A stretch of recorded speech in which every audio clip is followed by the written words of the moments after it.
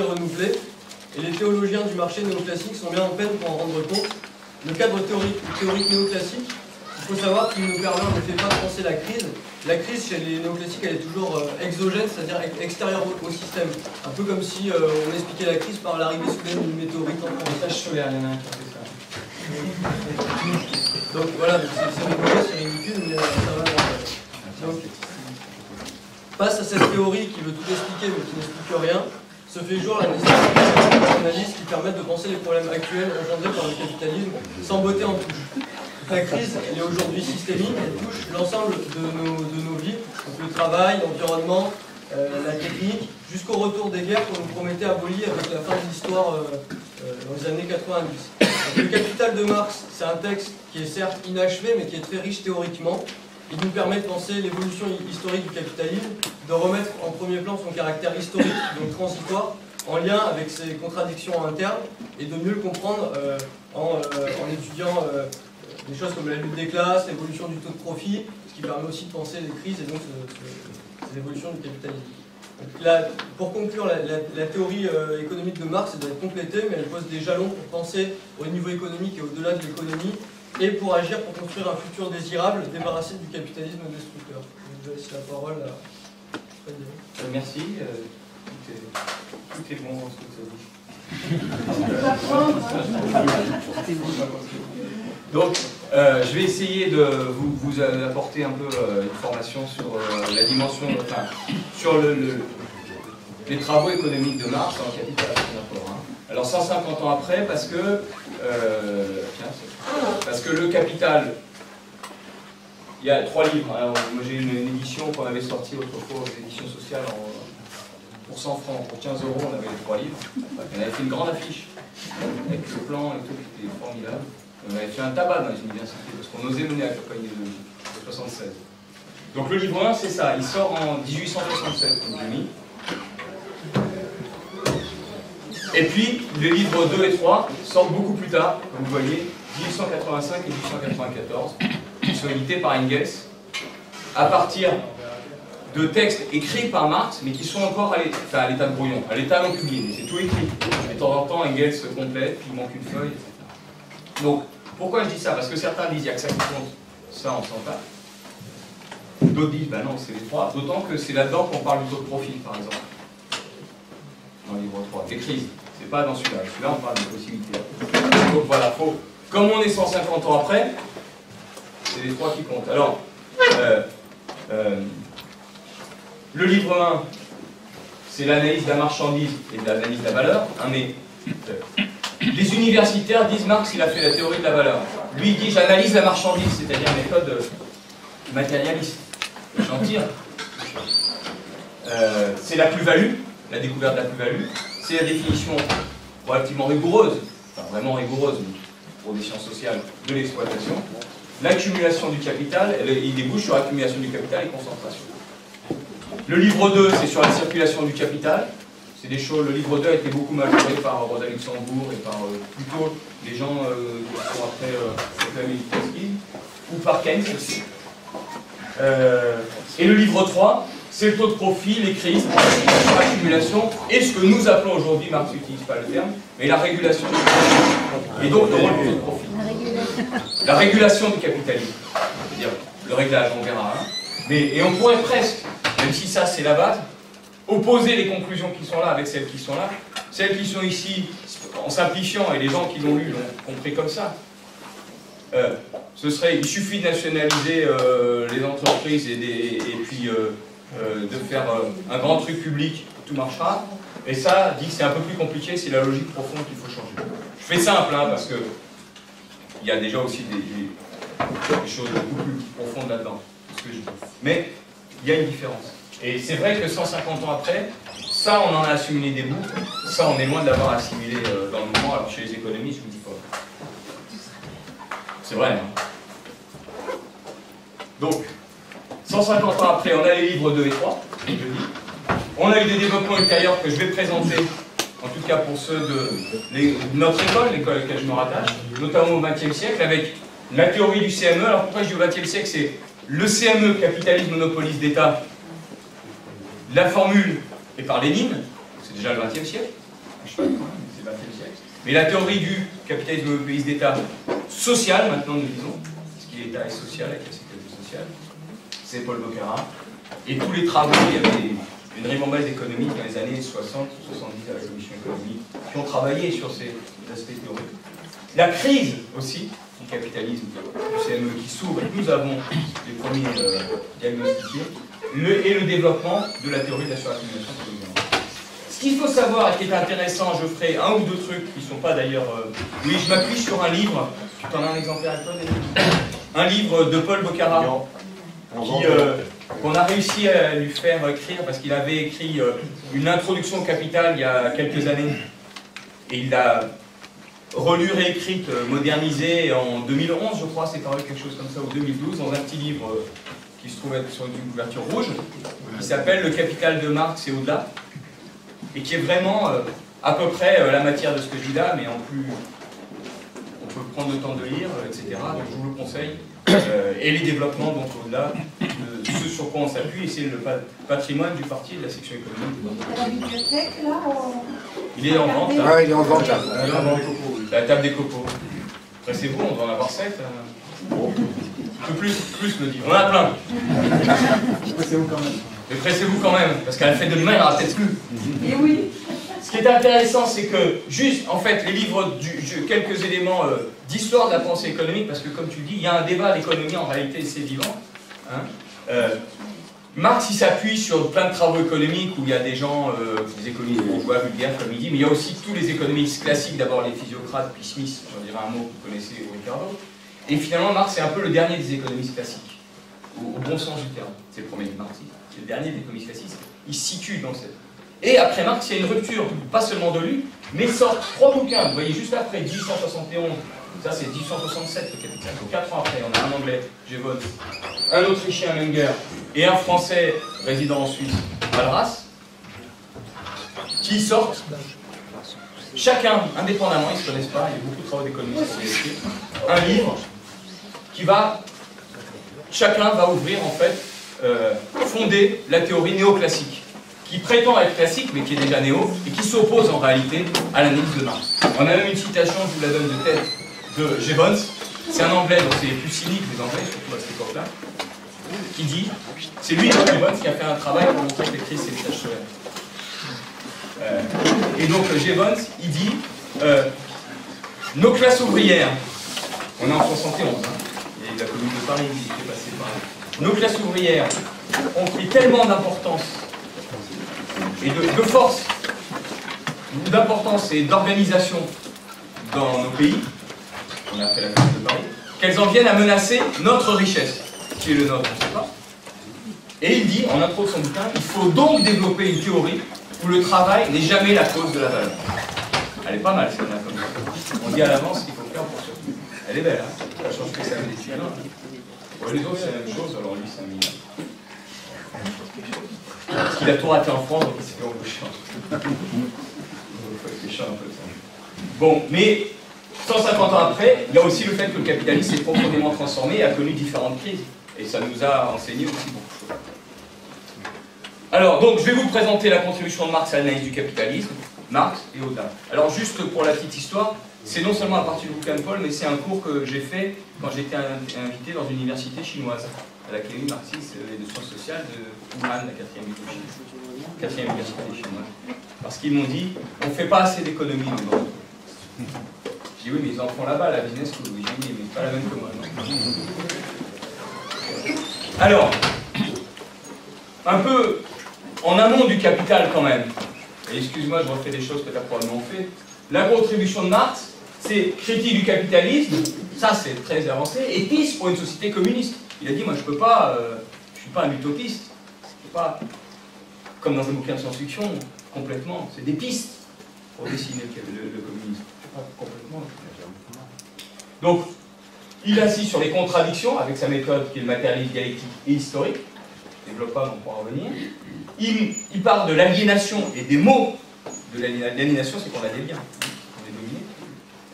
Et, comme tu l'as dit, le capitalisme, il montre à quel point c'est un système transitoire et historique, ni éternel, ni naturel. Mais, la chose importante, c'est que C'est à la fois révoltant, mais il a sa propre logique, il faut comprendre sa logique. Les limites de la contribution de Marx, c'est elle est inachevée. Alors, dans plusieurs sens du terme, hein. c'est-à-dire que, euh, d'abord, comme je vous ai dit, il est mort avant de publier euh, les trois livres du Capital, il avait laissé le plan, etc. Il y a même ce qu'on appelle un livre 4, qui sont les histoires des théories, qui a été sorti, qui s'appelle Théorie sur la plus-value. Mais euh, aussi inachevé, parce qu'il avait un plan d'ensemble beaucoup plus important, et il a restreint le plan du Capital. Ça, c'est des débats des années 60 entre euh, Paul Bocara, mon père, Althusser et d'autres. Euh, les limites, c'est qu'il est dans la société et l'économie du 19e siècle, donc on n'a pas, pas tout, ce qu'on a aujourd'hui, et nous on n'a pas tout, que le successeur auront dans un siècle. Et donc le capital, il a recentré sur les aspects essentiels, les lois, il dit, les lois générales moyennes du capitalisme, qu'on peut distinguer, ça c'est le vocabulaire qu'on a nous, hein, c'est pas le vocabulaire de Marx, du phénoménal et des phénomènes. Grosso modo, Marx dit qu'il faut s'enfoncer dans l'essentiel un peu plus abstrait, en veillant par une méthode justement dialectique à ce que les hypothèses qu'on fait et pour faire de l'abstrait à partir de la réalité correspondent quand même à la réalité, qu'on n'a pas enlevé les éléments fondamentaux. Mais on va quand même être dans une société moyenne. On ne traite pas, par exemple, ne traite pas de la concurrence entre les États. La concurrence internationale, c'est hors de son plan. Euh, L'État, même en soi, c'est hors de son plan. Même si, pour illustrer, il parle du contraire. Et c'est à titre d'illustration. C'est pas le plan de son analyse. Ça, il a laissé pour Donc c'est inachevé ce point de vue-là, et c'est focalisé sur l'essentiel qu'on pourrait opposer au phénomène. Et donc c'est à pousser à développer plus avant, bien sûr. Enfin, plus avant, c'est pas revenir en arrière. Alors, avec la crise, comme tu l'as dit, il y a une retour vers la- un retour vers la contribution de Marx, parce qu'il y a un retour de la critique du capitalisme. On s'intéresse à la contribution de Keynes, qui est venu après Marx, et d'ailleurs, tu connaissais assez bien les travaux de Marx, Keynes, même s'il s'est construit un peu anti, mais aussi lorsqu'on descend de Marx. Mais aussi des insuffisances en réalité du keynésianisme, avec un étatisme euh, formidable. Et puis on a les déformations de Marx. Par exemple, je ai pris quelques simplifications. Le- dans le pré-marxisme, une simplification pré-marxiste serait de dire pour Marx, le problème c'est les riches et les pauvres. Non, les classes sociales c'est autre chose que riches et pauvres. On peut avoir, euh, euh, être ouvrier et avoir un, rôle particulier dans la production, ça ne veut pas dire forcément être pauvre. Donc c'est une distinction assez différente. Et être exploité, ça ne veut pas forcément dire être pauvre. Ceux qui étaient là sur le féodalisme, on avait vu ça sur les serfs d'ailleurs. Il y a des gens qui sont dans le servage et qui étaient riches, plus riches que des. Parce que la production, et donc le rôle qu'on a dans la production, et le fait qu'on tire ses revenus d'une relation avec le patron qui domine les revenus, en, fait, ça détermine une lutte des classes et une situation tout à fait différente que simplement le montant de son revenu. Le montant de son revenu il renvoie à la répartition, à la consommation. Il est important, la représentation dans les modes de vie, mais c'est pas ça l'apport de Marx. Même si peut-être pour les marxistes d'aujourd'hui, et c'est pour ça qu'il y a tout un enjeu par exemple sur la sociologie, il faut articuler les deux visions. Comment les gens se définissent dans leur représentation par la consommation et comment en réalité ils sont impliqués dans des rapports de production avec l'exploitation. Bon, ça renvoie à ce terme fumeux sur- pour lesquels on va avoir un article très, très, très intéressant dans l'économie politique de classe populaire. Euh, alors, aussi on dit le capitalisme d'après Marx, il serait uniquement mauvais, ça aurait été atroce, et puis il serait tout le temps en crise. On a eu un débat avec les soviétiques, hein. Euh, je reviendrai sur le débat avec les soviétiques. On a temps. Mais le capitalisme, d'après Marx, c'est aussi un progrès comparé au féodalisme. C'est une libération, c'est une avancée, mais c'est important de voir ça chez Marx. Et donc l'enjeu, quand on lit Marx, et ce que nous tirons nous, c'est il s'agit pour une société ultérieure qui va vers le communisme de dépasser ce que sont les forces du capitalisme et pour faire mieux, pas pour revenir en arrière, au lieu d'ignorer les problèmes que le capitalisme résout. Par exemple, la mobilité des salariés. Je vais venir dans un instant. Et ça nous envoie vers la sécurité de l'emploi et de formation. Euh, le capitalisme, le marché, est une façon de résoudre certains problèmes. Il ne s'agit pas de revenir en arrière en, niant le marché, d'une certaine façon l'Union soviétique a nié le marché, mais d'aller au-delà pour une maîtrise des mobilités au lieu d'un enracinement et d'une. Donc, les résultats, si on veut, des travaux de Marx, pour simplifier, c'est que le capitalisme, c'est un mode particulier de progression de la productivité totale du travail. Total, c'est-à-dire en tenant en compte de la contribution et des salariés et des moyens de production. Et des travailleurs et des moyens de production. Mais possiblement contre les êtres humains, en les rejetant dans le chômage et dans la pauvreté, et possiblement contre la. Je dis possiblement, parce que bien sûr, nous voyons bien à quel point il est contre les êtres humains, mais il faut voir aussi comment il a développé les êtres humains et comment on a développé la société, malgré tout, sous le capitalisme, par rapport au féodalisme. Il faut quand même pas dire. faudrait quand même pas dire n'importe quoi. Dépasser, donc l'idée c'est faire mieux, s'attaquer aux problèmes, plutôt que de régresser ou nier leur existence. Mobilité du travail, j'en ai parlé. Donc, nous parlons par exemple de dépasser les quatre marchés, alors là c'est plus Marx, mais insérer ça dans, dans l'enjeu politique, de dépasser quatre marchés, le marché des produits, le marché du travail, marché des produits, c'est-à-dire le type de production qu'on a aujourd'hui marchande, le marché du travail, le marché de la monnaie et du capital, le marché financier, si vous voulez, qui est sous forme de marché financier, et le marché international, qui est transversal aux trois. Donc, je ne développe pas parce que, mais si on prend uniquement le marché du travail, on pourrait commencer à le dépasser pour une mobilité, mais qui n'est pas par le marché, et donc qui se fait sans chômage. Une mobilité vers la formation avec des alternances formation. Et une maîtrise par les gens, au lieu que ce soit les critères du marché qui disent qu'on licencie. C'est pas du tout la même chose que l'Union soviétique où c'est emploi à vie et on bouge pas, même si l'Union soviétique, sous la pression de la réalité, été obligée d'organiser des mobilités par derrière. Donc les principales découvertes de Marx qu'on connaît, c'est la plus-value et l'exploitation, le fait que le taux de profit joue un rôle central comme régulateur du capitalisme, et que le capitalisme, c'est une société totalement biaisée, si vous voulez, c'est un terme technique d'économiste, biaisé, mais on l'utilise partout maintenant, biaisé vers le profit et l'accumulation du capital. Que, ça c'est important, Piketty n'a pas vu, c'est pas, il ne connaît pas, hein. il dit lui-même, je n'ai pas lu Marx, et ça, ça se voit quand on le dit qu'il n'a pas lu. Mais que la rentabilité, ce que montre Marx, c'est qu'il y a des limites à la rentabilité et qu'il y a des limites à l'accumulation jusqu'à un excès d'accumulation qui est la suraccumulation. Il dit le capital devient sa propre barrière à lui-même. Là où Piketty dit, pour Marx, c'est l'accumulation infinie de capital. Au contraire, le contraire. Ce que dit Marx. Il y a des limites, et c'est ça ce qui va déterminer les crises. Et qu'il y a des solutions et des issues de l'intérieur du système à travers des crises et des fluctuations. Ce qu'on peut ajouter, que n'a pas dit Marx, mais la société, il y avait un euh, moins d'histoire pour voir, c'est que, d'une certaine façon, il se transforme à dans ces crises. Tout en maintenant un certain nombre d'éléments fondamentaux qui reviennent après euh, de façon même euh, éventuellement exacerbée. Comme... Mais il y a des transformations profondes et des amendements de sa logique à travers les. On ne peut pas dire que le capitalisme la sécurité sociale, ce n'est pas une transformation profonde. Et donc, c'est une société marquée par une régulation, par des crises et par le chômage. Donc le capital, c'est comme un moment, la recherche sur les lois nécessaires du capitalisme, processus inachevé, incomplet, ça je l'ai déjà dit. Alors, son souci, c'est éclairer les luttes politiques, en se nourrissant, alors, Lénine parle de trois sources, là il y en a quatre. Lénine, il dit, euh, Marx, c'est Allemagne, France, Angleterre. Donc la philosophie allemande, les luttes politiques et sociales, notamment en France, mais pas uniquement. Les lectures de socialistes utopiques, effectivement, mais qui sont souvent françaises, mais pas que. Et l'économie politique classique, qui est anglaise. C'est les différentes sources, il, il en a lu Et ce qu'il explique, c'est que les racines de la politique sont dans les luttes sociales et les luttes de classe, et dans les conditions matérielles de la société. C'est pas dans l'organisation juridique. Lui-même, il explique comment, ayant eu à résoudre un problème euh, euh, pour des paysans sur le bois et le ramassage du bois, il s'est aperçu qu'il ne pouvait pas faire une proposition juridique pour les appuyer, mais qu'il fallait rentrer dans l'analyse fondamentale économique.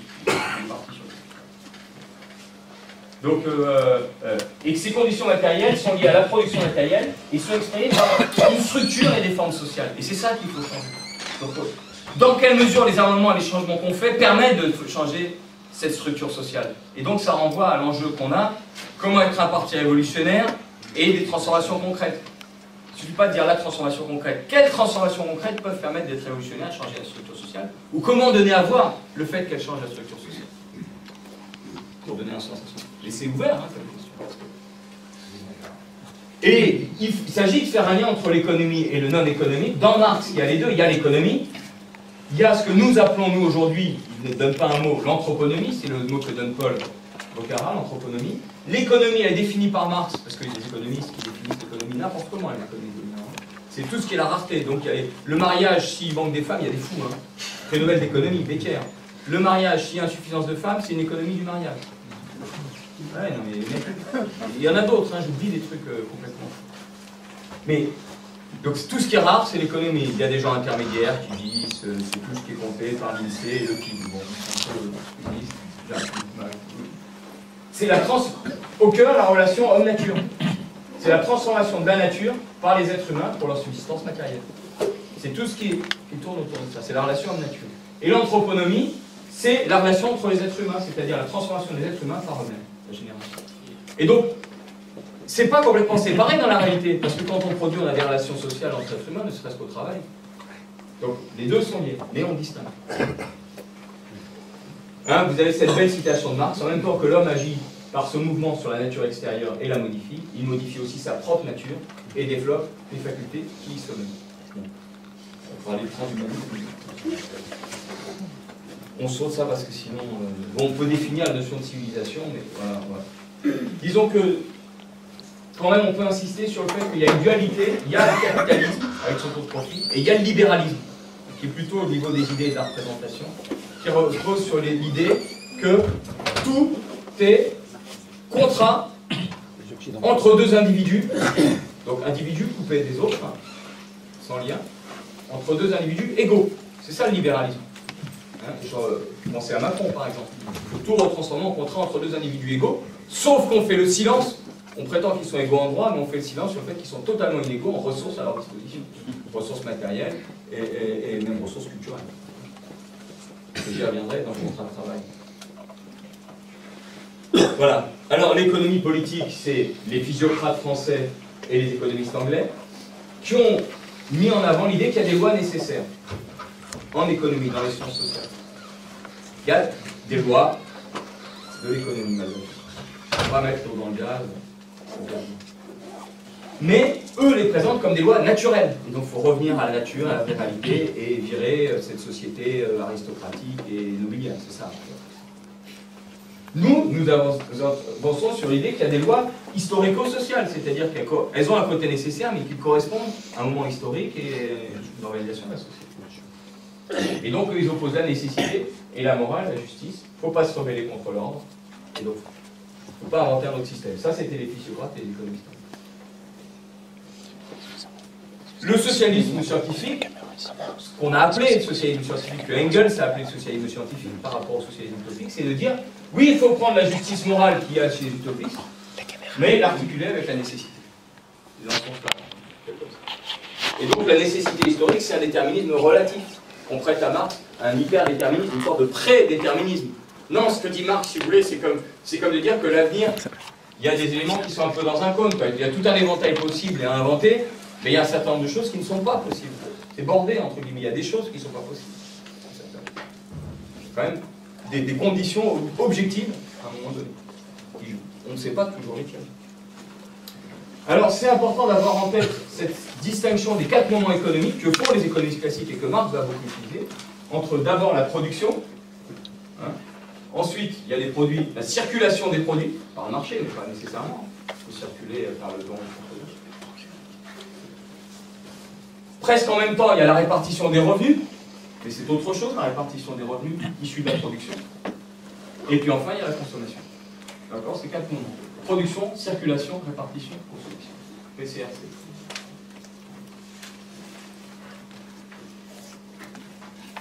Et il faut articuler les deux. Certains se concentrent que là-dessus.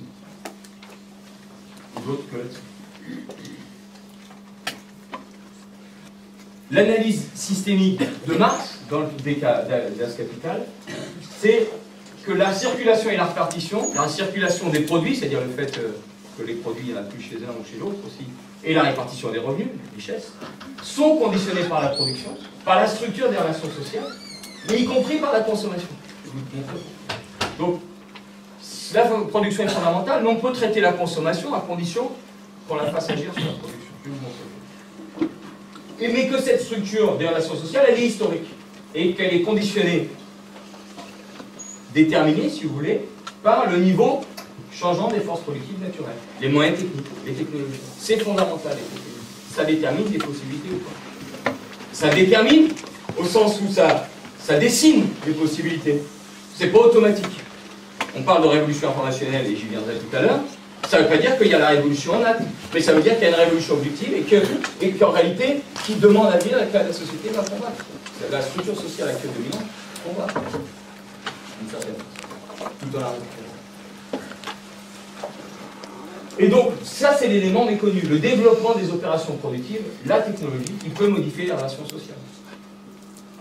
C'est la chose très sous-estimée, y compris sous la pression de cette révolution qu'on n'attendait pas dans un pays arriéré comme la Russie 1917, la Russie tsariste, où Lénine est très conscient de l'arriération russe. Il dit oui, mais on l'a fait la révolution parce que euh, il y a l'opportunité de faire. Mais on est marqué par l'arriération, il faut faire le rattrapage. Et donc, a, posteriori, il a fallu justifier et dire oui, mais c'est pas une histoire de niveau de développement si on fait la révolution, donc cette histoire de développement des c'est secondaire. Sauf que ça s'est posé justement pour les soviétiques. Et ça a été un impensé considérable du marxisme. Marx insiste sur justement le contrat, le conflit entre la structure sociale et les forces politiques. Et finalement, il y a des transformations historiques de l'ensemble à travers des luttes sociales qui arrivent. Voilà. Mais le capital va plus loin. Il ne dit pas seulement qu'il y a des conflits entre les deux, il dit entre les deux, il y a, alors il ne le dit pas comme ça, mais il dessine un entre-deux très important, qui est le rôle du taux de profit, et donc ce qu'on appelle aujourd'hui la régulation. Et la régulation, ça c'est notre terminologie à nous, si vous voulez. PB, c'est Paul Boccara. La régulation, ça comprend trois choses. Les règles, par exemple les règles de marché, de comparaison des produits par marché. Le régulateur, les régulateurs, dont le taux de profit, la rentabilité. Et les formes régulatrices, les prix, par exemple. Des choses fondamentales, ça, en réalité, qui sont tout ce qui fait l'articulation entre les deux. Et donc, c'est pas seulement les deux changent, mais éventuellement, c'est ce cœur-là qui va changer pour articuler autrement. Et d'ailleurs, je me permets une remarque, quand dans les prix, il y a une partie qui est obligée de tenir compte de la cotisation sociale, de cette transformation fondamentale qui est la sécurité sociale, déjà, c'est plus tout à fait la régulation par les prix, parce qu'il y a une partie qui est fixe et qui est fixée autrement que par la production. Mais justement, ça ne leur plaît pas, donc euh, ça entre en conflit avec la structure. Je ne fais pas le dessin sur toutes les réformes contre les cotisations sociales et contre la sécurité. Alors, justement, je reviens sur ces moments économiques. En réalité, à la sortie, production, circulation, répartition, consommation, il y a aussi investissement. On peut appeler consommation, celle-là, consommation productive, si vous voulez. il y a une partie du résultat de la production qui est consommée, des revenus, pardon, qui sont consommés, une partie qui sont investis. Et ça, ça permet de voir, parce que l'investissement, il développe éventuellement les moyens matériels, les machines. Il développe les moyens matériels, les machines. Et la consommation développe les êtres humains. Bon, tout ça, les êtres humains, ça sort de la société, les machines, ça renvoie à la technologie qui sort de l'économie aussi. c'est pour ça que je mets des pointillés, c'est qu'on sort purement de l'économie, mais on voit l'articulation. Mais les moyens matériels, ils vont déterminer une nouvelle production. De même que le développement ou pas des êtres humains, la consommation qui donne le développement et un type de développement des êtres humains et le développement ou pas des êtres humains, détermine la nouvelle production. Et donc c'est dans ce sens, quand on lit, c'est le dernier chapitre de Marx qui est très, de, du Capital qui est très intéressant là-dessus, que finalement la répartition des revenus, l'utilisation de l'argent, si vous voulez, va déterminer les conditions de la production. Et on pourrait amener le crédit, parce qu'il va dire si l'argent pour l'investissement est insuffisant, il faut aussi avoir le crédit qui va pousser les moyens matériels. Ou on pourrait dire de façon nouvelle aujourd'hui, il n'y a pas que les moyens matériels, il y a des investissements de recherche et de qualification. De recherche ici, et de qualification qui sont encore en Donc toutes ces nouvelles dépenses et tous ces nouveaux enjeux, ou les services publics, qui sont de côté plutôt à tout tous ces nouveaux enjeux et ces nouvelles dépenses qu'on peut voir uniquement comme de la consommation et de la répartition, si on les pose correctement et si on les relie au reste, ils peuvent pousser à changer la production. Sinon, ça va être décalé, il ne va rien se passer.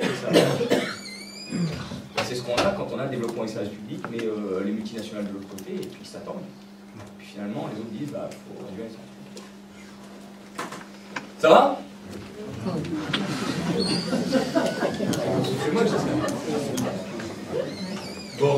Alors, on rentre dans le vif. L'analyse économique du capital. Alors, là, en fait, vraiment, j'ai essayé. Il faut suivre l'ordre de Marx, et l'ordre que reprend Paul d'ailleurs, 1, 2, 3, 4, 5, 6. Il y a comme ça que ça marche parce qu'il y a vraiment des briques qui s'enchaînent. C'est comme ça la vie, il y a des choses. euh. Donc, 1, l'analyse de la marchandise, pas la théorie de la valeur. La marchandise, elle a une forme naturelle, elle a une forme valeur. Elle a une forme naturelle, c'est comment elle se présente, euh, naturellement, si vous voulez. Et elle a une forme valeur qui est différente. À la forme naturelle correspond la notion de valeur d'usage, c'est-à-dire ce qu'on va pouvoir en faire, euh, qui a un aspect social. Hein, euh, dire, euh, une enceinte, une enceinte pour écouter de la musique bien grosse, ça peut aussi avoir comme valeur d'usage d'être un tabouret. Ça dépend si on a de l'électricité, si on a le système qui va avec. C'est pour ça que c'est différent la forme naturelle et la valeur d'usage. Donc, le caoutchouc remplace le bois, c'est pas la forme naturelle. Ou l'aluminium remplace le bois, par exemple, pour les boiseries, est. C'est le côté analyse. Et la forme valeur correspond à la valeur qui analyse Marx, là je vais très vite. Il dit ce qui est commun entre toutes les marchandises pour qu'on les échange, qu'est-ce qu'elles ont de commun? C'est d'être issues du travail humain. Les marchandises, c'est celles qui sont reproductibles. Les œuvres d'art uniques, c'est pas des marchandises, même s'il y a un marché. La nature, c'est pas des marchandises, c'est autre chose. Mais les marchandises, c'est celles qui sont produites, reproductibles, identiques, semblables, qu'on peut comparer. Et donc elles ont quoi en commun? Bah, Pas d'a- pas d'avoir la même forme naturelle, parce que sinon on n'en voudrait pas l'une pour l'autre, ou même pas d'avoir la même valeur d'usage. Sinon on n'échangerait pas l'une pour l'autre, on veut une meilleure valeur d'usage ou une autre valeur d'usage que celle pour Donc elles ont en commun par contre d'être de produits.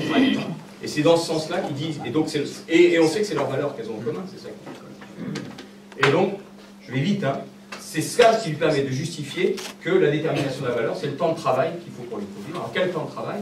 Pas le temps de travail pour cette marchandise, mais un temps de travail socialement nécessaire, en moyenne, pour ce type de marchandise. Et au moment où arrivent des nouveaux produits, par exemple, euh, imaginez... euh, donc ça, c'est Marx, c'est déjà très analysé par Smith et Ricardo. Imaginez des nou- nouveaux produits, par exemple, euh, vous avez... ouais, on n'est pas tous plus jeunes, ça va. Euh, avant qu'arrivent les calculettes électroniques, il y avait des calculettes mécaniques. Les deux ont la même valeur d'usage finalement, enfin, tant que ça gère pas les stocks, parce que maintenant ça gère les stocks derrière et tout. Mais les deux ont la même valeur d'usage. Mais il y en a une tout d'un coup qui a beaucoup moins de temps de travail pour la produire. La calculette, la petite calculette quand elle est arrivée. Et donc, euh, on n'accepte pas de payer les grosses machines mécaniques le même prix que la calculette. Donc tout s'aligne vers le bas sur le temps de travail socialement nécessaire, c'est-à-dire en moyenne qu'il faut pour produire ce type de valeur d'usage. Donc c'est ça aussi la concurrence. C'est pas que les choses sont payées autant de travail qu'il a fallu pour les faire. Autant de travail qu'on reconnaît nécessaire pour les faire, et si tu n'as pas mis ce qu'il faut, tu t'alignes. Marx montre très bien comment les tisserands indiens ont été évincés par euh, l'industrie anglaise, qui a fait des tapis très vite avec l'industrie, enfin, avec l'industrie euh, de masse systématique et donc avec un temps de travail beaucoup plus faible que ce qu'il avait un tisserand euh, artisanal. Et donc ils ont été évincés parce que c'est quoi la marchandise et le marché capitaliste C'est je compare deux marchandises l'une avec l'autre, même valeur d'usage, alors je paye le même prix, tant pis si l'autre, ça ne correspond pas à son temps de travail. Et donc,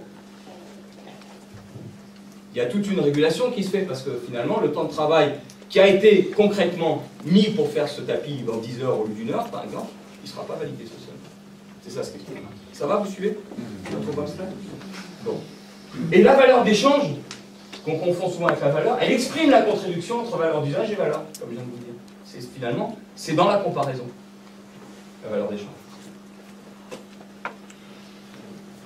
Dans le capitalisme, l'échange n'est pas obligatoire, donc il y a une liberté et une souplesse du capitalisme, mais il y a des dominations et des insécurités. Par exemple, la force de travail, j'anticipe, on peut ne pas l'acheter. Et donc il y a du chômage. Alors que l'esclave, on le détient. Et il faut quand même le faire bouffer. Oui, mais c'est tout ça. Et le cerf, on a quand même quelques obligations envers lui. Même si déjà, il peut crever sur place aussi. Deuxième chose, la monnaie. Je vais vite, hein. Enfin, moi, je trouve que je vais très vite. La monnaie. Marx, il dit, c'est le corps de la valeur. Hein, Même si c'est une marchandise particulière, c'est le corps de la valeur. Alors, on peut définir les fonctions de la monnaie. Il y a Denis qui est là, qui est grand spécialiste de la monnaie. Je vous présente, directeur. Travaillé longtemps la la monnaie. C'est un banquier. Tu viens de sortir un livre 7 leviers euh, pour, pour notre utilisation de l'argent. Je trouve ça très remarquable. Euh, bon, il y a quatre fonctions euh, pour la monnaie. euh, fonction de thésaurisation, si vous voulez, on accumule de l'argent, on garde, etc., si vous voulez. Fonction euh, d'unité de compte, ça permet de comparer tout. Fonction d'intermédiaire dans les échanges. Ça, c'est les trois fonctions classiques que disent les économistes. Et il y a une quatrième fonction qui est souvent omise, que Marx met en avant, Keynes aussi, c'est la fonction de crédit. Quand on crée de la monnaie, ça fait du crédit. C'est la quatrième. Mais c'est le corps de la valeur. La monnaie, ça permet la séparation entre achat et vente. J'achète, je vendrai demain. Ou pas. Donc ça, ça, ça commence à vraiment créer les possibilités de crédit. Dans le capitalisme, du coup, on a vraiment l'argent en soi quand la monnaie se développe. Donc A, et, et- donc ça permet de commencer à avoir cette formule, je, saute, hein, où finalement l'argent va chercher toujours son plus. Et donc le A, argent, va chercher A, A prime, comme un A, quelque chose en plus, A plus delta. Et c'est ça, la recherche de la monnaie comme capital, je vais venir dans un instant, c'est la diapo suivante, c'est de chercher à faire plus d'argent avec l'argent. On le sait bien.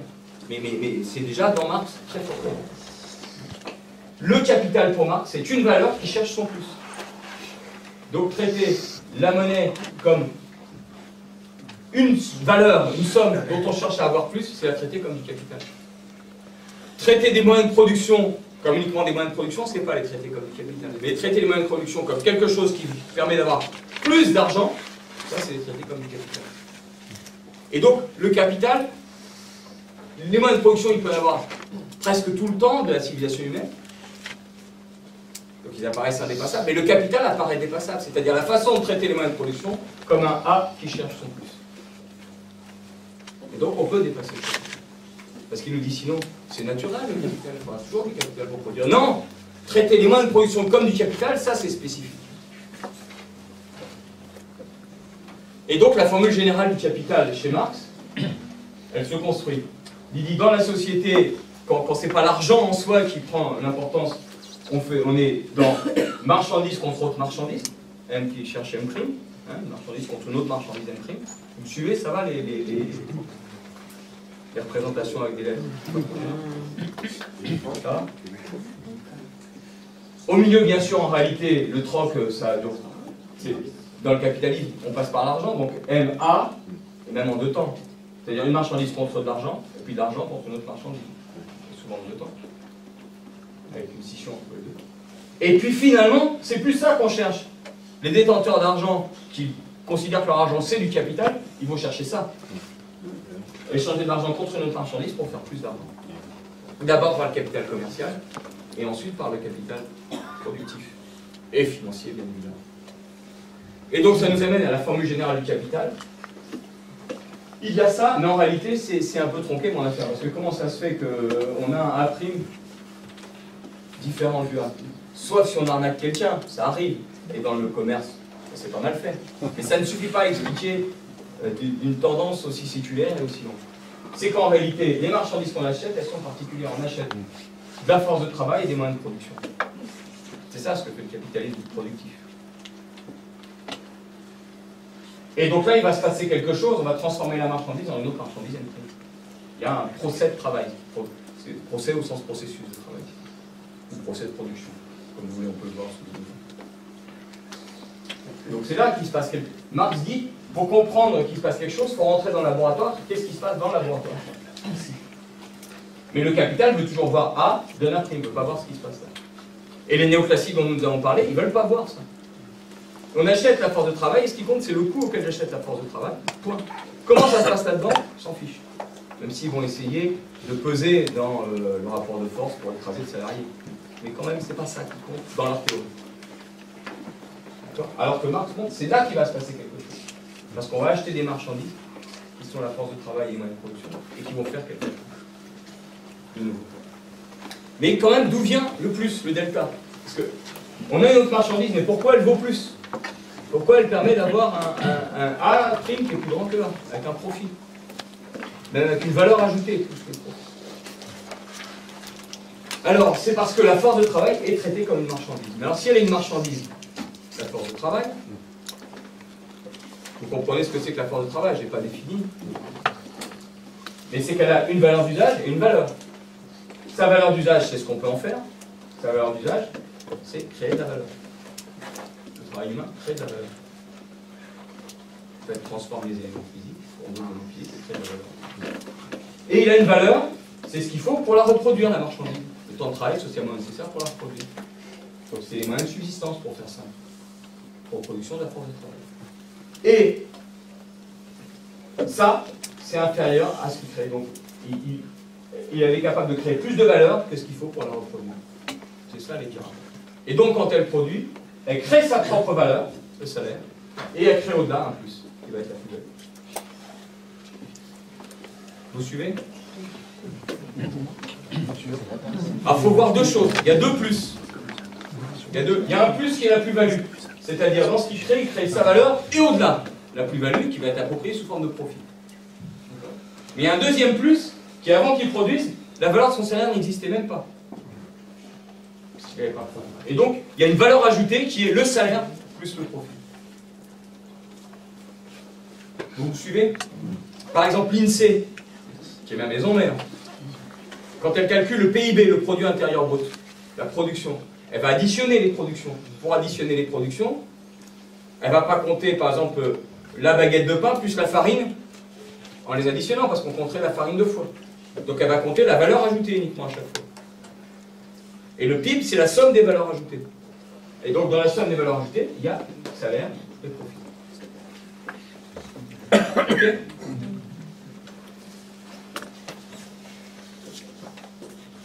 Donc c'est ça la plus-value.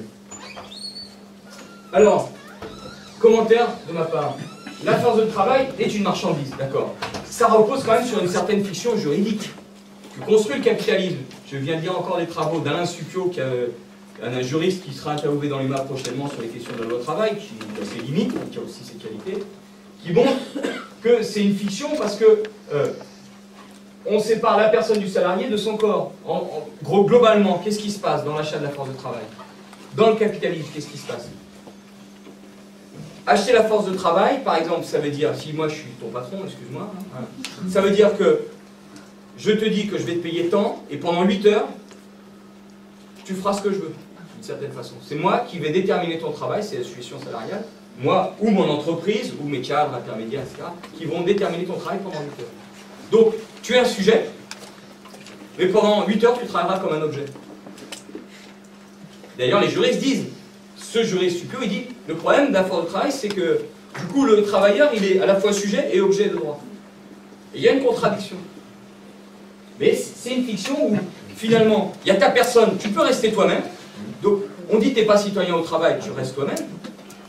Tu, n'en penses pas moins. Mais c'est ton corps qui est mobilisé. Sauf que, quand on va mobiliser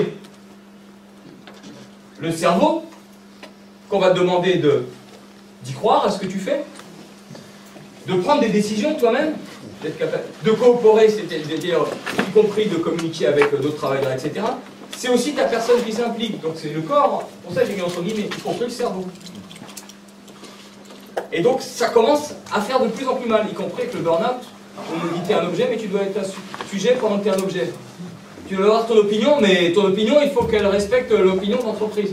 Et va te faire foutre sinon. Et donc toutes les questions de burn-out, de machin, c'est là-dedans. Et avec la révolution informationnelle, c'est du tout. Mais aussi, bien sûr, de façon plus classique, la personne déborde cette force de travail qui est une, une fiction, une façon de réduire le la personne du travailleur à une chose, à une marchandise. Parce qu'il y a ses besoins sociaux, historiques qui vont évoluer, et y compris avec les luttes sociales. Et puis, elle a besoin d'être formée au-delà de simplement d'une reproduction. Il y a une formation, un développement de cette personne qui montre déjà que ce n'est pas une pure marchandise, une chose inerte. Et donc, euh, finalement, nous, on veut la faire complètement déborder et, donner beaucoup plus de personnalité aux salariés et qu'il soit vraiment une personne et pas une chose.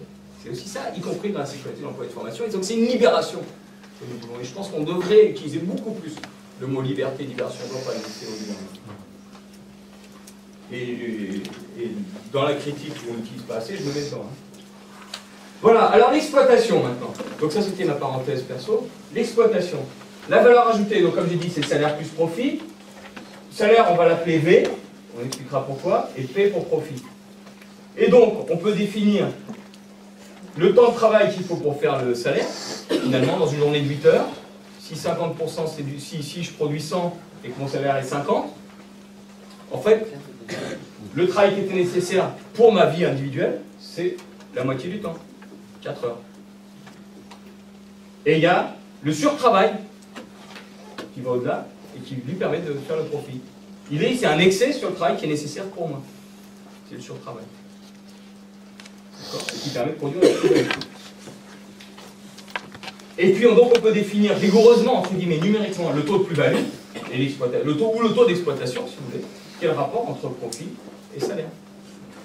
Pour 4 heures, j'ai réussi 4 heures de profit. Donc euh, j'exploite bien. Exploiter, ça veut dire tirer quelque chose de quelque, de quelque chose d'autre. Donc du, exploiter une mine, exploiter un travailleur. Sur ces 4 heures, j'en tire 4 heures pour moi. C'est beaucoup. Alors après, Marx distingue la plus-value absolue et relative, c'est-à-dire absolue, c'est j'augmente le nombre d'heures de travail, je passe de 8 heures à 9 heures de travail, plus-value absolue. Plus-value relative, à l'intérieur des 8 heures, j'arrive à faire en sorte que finalement, ces moyens de subsistance ne coûtent que 3 heures, et moi j'en ai 5 heures en tant que capitaliste. Je peux bouger le curseur à l'intérieur de Juste là-dessus. Tu mesures ton taux de plus-value, P sur valeur ajoutée. Parce que si tu n'as pas ton sur-travail, tu n'as pas forcément ta valeur ajoutée. Pour créer ma valeur ajoutée, il faut travail. plus Un, je ne prends pas parce que je suis ce que fait Marx. Il le définit comme ça. Il aurait pu le définir autre. Enfin, tu vois, les deux sont un peu équivalents.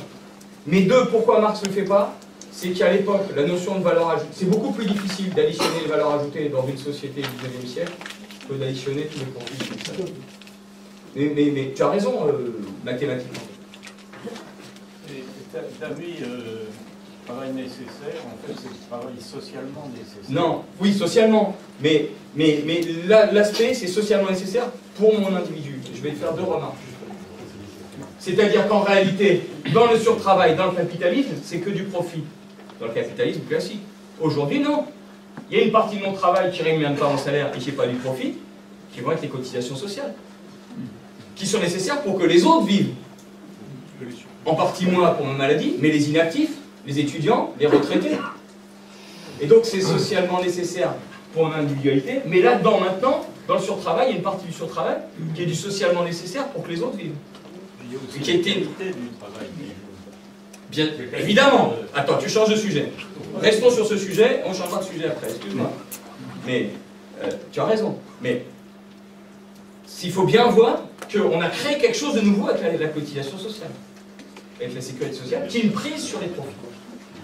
C'est pas du salaire, ça rémunère pas le travail. C'est créé par le travail.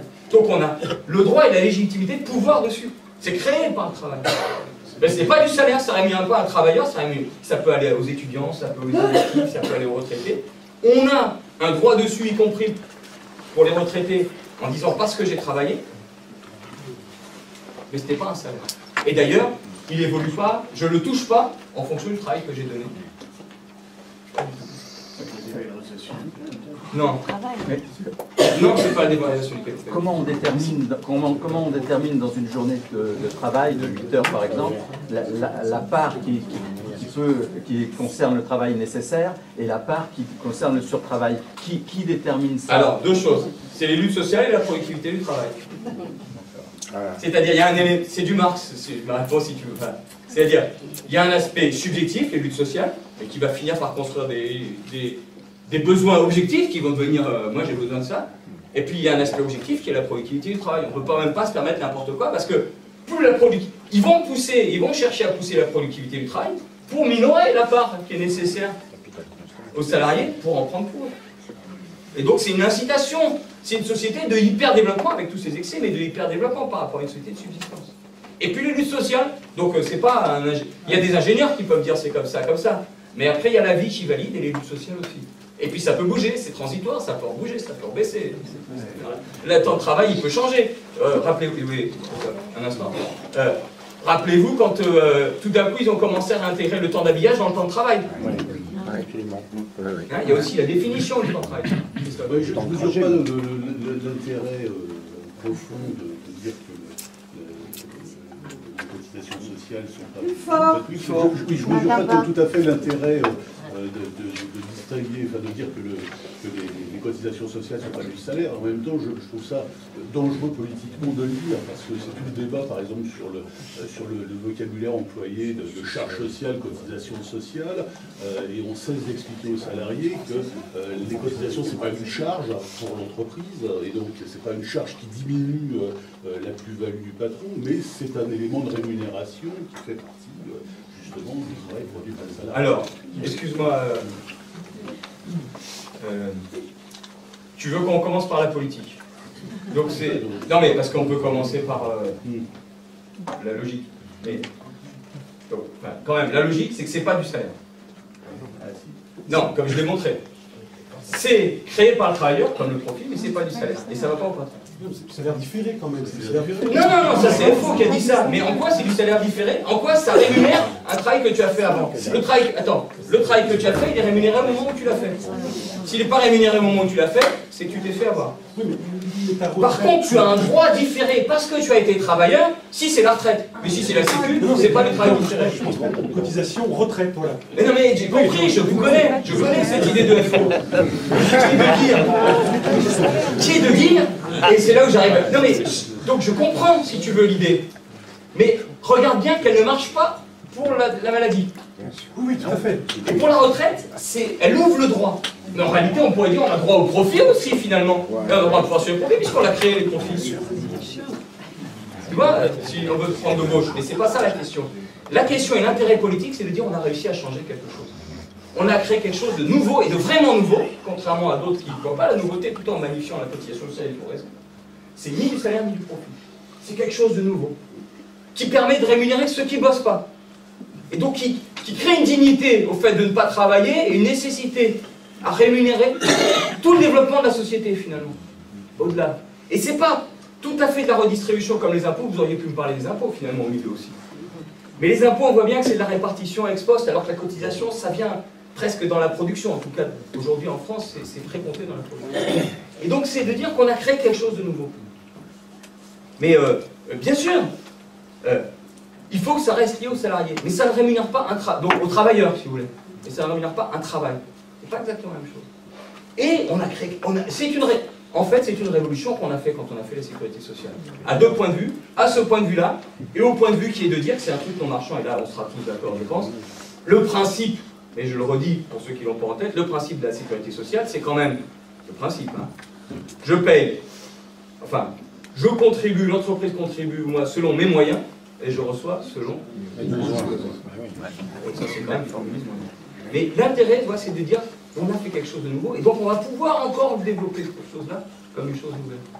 Et la dernière chose qui prouve bien, est-ce que t'ai vu, que, enfin qui prouve bien, qui va dans le sens, après, gardez votre idée, c'est pas, euh, qui va dans le sens de dire que ça attaque les profits, c'est que c'est la première chose que les patrons veulent baisser. Donc en réalité, je suis pas tout à fait d'accord avec toi, c'est quand même une prise sur les profits. On a réussi une prise sur les profits. C'est pour ça qu'ils l'ont comme ça. Mais ce qui est contradictoire dans le capitalisme, parce qu'il y a la productivité et que ça bouge, on n'est pas sur des trucs fixes. Cette prise sur le profit a permis de tellement dé- développer les capacités humaines que finalement elle a, a développé aussi les profits quand, en 45 on l'a fait et les capitalistes, les patrons, ils ont trouvé leur compte. Dans un truc dynamique. Euh, alors moi je suis d'accord pour dire cotisation sociale et pas charge sociale. Ceci dit, ce sont aussi des charges. Mais si on commence à dire charge, on rentre dans un truc idéologique euh, de folie. Juste- Oui, pardon, toi. Je voulais juste te dire une chose. Je pense qu'on a intérêt de rester très, très collé à ce que tu as exposé là. Parce qu'on a aujourd'hui un débat qui est un débat qui va s'instaurer sur le terrain politique, c'est le débat CSG, cotisation, sécurité sociale, cotisation chômage, qui en fin de compte modifie l'affectation de- de- pour l'instant d'une somme infime, mais d'une somme, et qui, va créer une illusion. C'est-à-dire la CSG, on va la prendre là-dessus. Voilà. Au lieu de la prendre là-dessus. Voilà. D'ailleurs, quand on baisse les cotisations sociales normalement, sauf à ajouter une loi supplémentaire, ça n'augmente pas les salaires. Ça monte bien, vous voyez? Bon. C'est l'intérêt. Mais bien sûr, il y a un droit différé. C'est là où le côté diffère. Je, je le dis à la serpe, hein, vous, vous m'excusez ma, ma, mon côté passionné. Vas-y, mon camarade. Ouais, moi je ne sais pas ce que pense FO euh, du, salaire, du salaire différé, mais je sais ce que pense la CGT sur le salaire socialisé. Et il fait partie du salaire. Et alors, il y a une autre information quand même. Quand tu regardes euh, euh, le site euh, de l'INSEE, la définition de la rémunération des salariés, c'est les salaires directs bruts plus les cotisations sociales de l'entreprise. Et alors, le ministère des Finances le dit, c'est que c'est vrai Non, non, non, Moi, j'ajoute que le problème, là, c'est le problème de la reproduction de la force de travail. Et le problème de la reproduction de la force de travail, ça part de la naissance à la mort. Puisque ce sont les individus qui font le travail. Mais les individus, ils vivent. Et ils vivent euh, dans un cycle.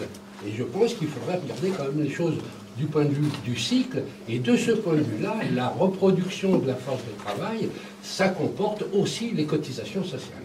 Alors, je ne veux pas te heurter, hein, mais je, je- je pense que, euh, enfin, d'abord, j'affirme, la position de la CGT est plus mixte que ça. On trouve ce que tu vois, qui d'ailleurs témoigne plus, parce que c'est pas très clair cette notion, euh, mais qui témoigne du fait que la notion de salaire différé ne leur convient pas. Ils sentent bien que c'est plutôt un élément socialisé. Moi, je te dirais, pour reprendre le truc, c'est un élément socialisé, créé par les salariés, mais qui va au-delà des salariés et au-delà même du monde du travail. Et donc c'est le deuxième élément, il faut accepter le nouveau. Il faut accepter d'avoir fait une révolution et d'avoir créé des choses nouvelles qui sont au-delà de ce que Marx a dit un jour. Je, te dis de toute façon, parce que je fais confiance à... Je te fais confiance à recevoir mon côté un peu provocateur, la façon de planter les choses. Oui, c'est comme ça. La nouveauté, ça provoque, mon cher. Quand on a dit que les technologies informationnelles c'était une révolution, c'était provocateur. Et maintenant, Macron, il parle de révolution numérique et nous, on court derrière. Donc, euh, prenons au sérieux. Et tu prends au sérieux, tu as raison. Ce que je veux dire, c'est que ça déborde le monde du travail, l'utilisation de cette cotisation sociale. Il y a des gens qui reçoivent le produit qui ne travailleront jamais. Donc, alors on peut dire que tout participe, donc c'est pour ça qu'il y a un élément conventionnel, que tout participe de la reproduction de la force de travail. Y compris tous ceux qui ne travaillent pas, y compris... euh, bon. On peut dire aussi que la vie, elle a deux pieds, qu'il y a une partie qui participe de la reproduction de la force de travail, et l'autre partie, c'est la régénération des êtres humains, leur vie, leur travail, etc., et qui s'en participent.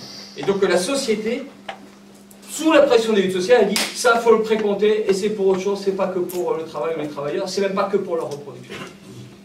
C'est ça, si tu veux, ce crois, insiste politiquement. Même si dans la réalité, tout ça hein, est en réalité extrêmement complexe euh, et pas facile à, à- à mesurer. Mais, euh, sont en soins palliatifs, par exemple.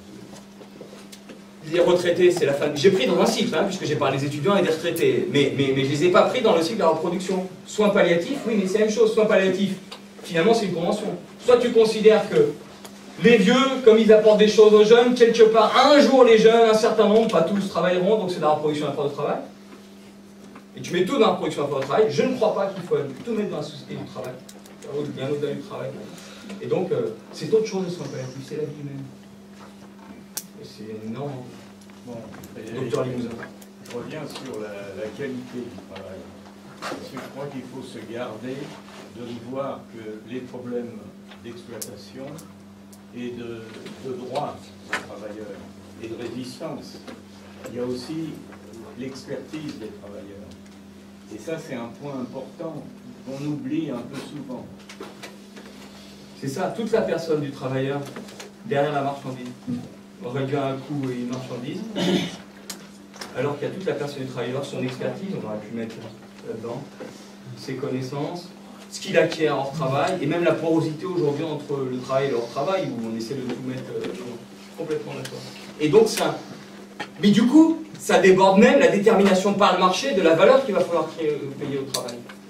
Parce qu'il y a eu des critiques de Marx en disant mais on ne peut pas tout réduire à la force de travail, il travail abstrait, c'est pas mesurable, etc. Soit on dit mais c'est dans Marx et ça se fait, etc. Il y a un peu de vrai. C'est-à-dire ça se fait, le marché le fait à sa façon, mais c'est une approximation et qui marche de moins en moins à partir du moment où c'est de plus en plus de travail abstrait, de plus en plus de conception, et qui montre que de plus en plus il faut passer à une autre façon de compter la rémunération du travail que par le marché, que par la détermination du travail comme marchand. Et ça renvoie à ce que. Et je suis d'accord. Et donc, ça renvoie là, et la dernière chose, nous ne parlons, sauf allusion, nous sommes dans une entreprise et presque même dans l'industrie, on va dire, mais il y a les, tous les salariés dits improductifs, je ne vais pas rentrer là-dedans, euh, les salariés du tertiaire, les chercheurs, etc., euh, qui participent de ça et qui sont une problématique un peu différente que je ne traiterai pas. Je veux insister sur un point que vous n'avez pas dit les uns les autres, il y a une dissymétrie fondamentale sur le marché du travail qui est liée à l'exploitation. C'est-à-dire, comme j'ai dit tout à l'heure, dans le libéralisme, il y a un contrat entre deux personnes prétendument égales en droit, mais en fait inégales en, en ressources financières et culturelles. C'est qu'il y en a un qui n'a pas d'argent, qui ne peut pas attendre, quand dit Marx, il a que sa peau sur les os, il peut attendre qu'à être tanné. Et l'autre, l'homme aux écus, il a le temps d'attendre. Et c'est ça la dissymétrie fondamentale pour euh, négocier le contrat de travail, par exemple. C'est pour ça qu'il y a tout cet aspect de droit du travail, etc. Parce que si on appuie trop cette dissymétrie, alors il va y avoir un travail inefficace et une crise de productivité. Donc il y a une dissymétrie fondamentale sur le marché. Arrivons au taux de profit quand même. On n'a pas réglé tous les trucs, chacun garde ses, son compte à soi, et tant mieux, mais j'essaie d'avancer. Le taux de profit. Il s'agit de rapporter le profit à tout le capital avancé. Donc on peut l'écrire P, profit sur capital. Hein? Attention, il y en a, par exemple, Husson, économiste euh, de formation euh, trotskiste, euh, qui dit le taux de profit, c'est le profit rapporté à la valeur ajoutée, c'est-à-dire la part des profits dans la valeur ajoutée. Mais c'est. Non. Pour le capitaliste, la valeur ajoutée, c'est un truc secondaire. Ce qui compte, c'est le pognon qu'il a mis, le capital qu'il a mis, et est-ce que ça me rapporte ou pas Comme me disait un collègue à l'INSEE, l'homme aux écus, il dit I want my money back. C'est clair, ça. Voir un buffet, il dit ça. Donc je mets mon argent, est-ce que je reçois Donc le problème, c'est pas j'ai 10 millions.